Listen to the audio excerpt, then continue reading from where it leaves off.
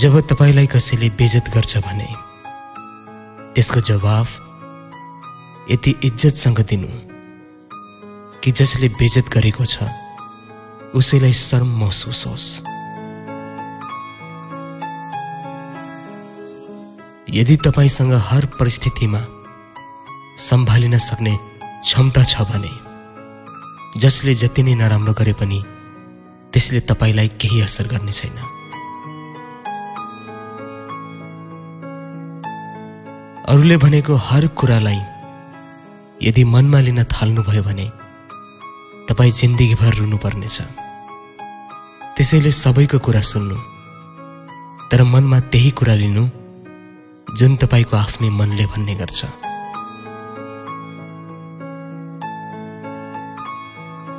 जब नङ बढ्छ तब नङ काटिन्छ औँला होइन।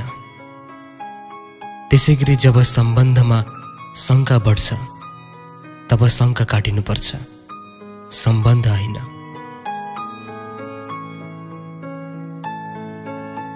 कुनै पनि मान्छे तपाईँको शत्रु या मित्र बनेर आउँदैन।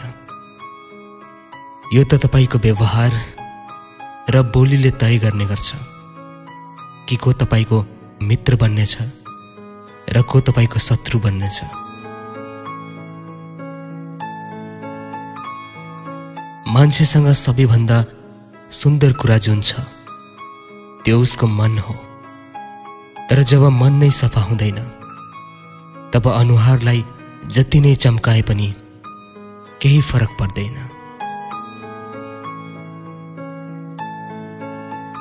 जिन्दगीमा केही बन या नबन यसले खासै महत्त्व राख्दैन। तर बुढेसकालमा आफ्नो आमा बुवाको सहारा पक्का बन्नु। किनकि यसले ठुलो महत्त्व राख्ने गर्छ।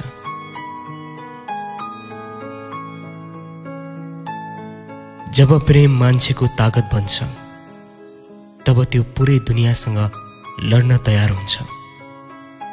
तर जब त्यही प्रेम मान्छेको कमजोरी बन्छ तब मान्छे यति कमजोर बन्छ कि एउटा मान्छेको अभावमा जिउन पनि सक्दैन।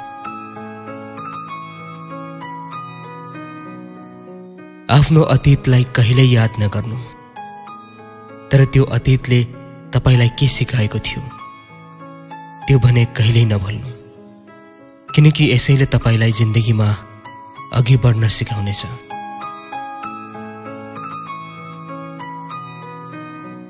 जब तपाईँ तपाईँको बुवाको काँधसम्म आइपुग्नुहुन्छ तब यो बुझ्नुहोस् कि जुन काँधमा तपाईँ खेलेर हुर्किनुभयो अब त्यही काँधको बोझ उठाउने बेला भयो।